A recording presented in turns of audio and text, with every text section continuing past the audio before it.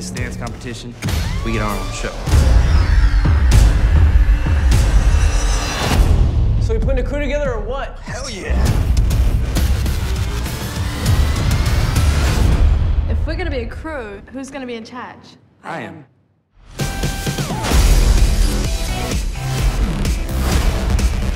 I see you got yourself a new crew. Y'all come to see some real dancing?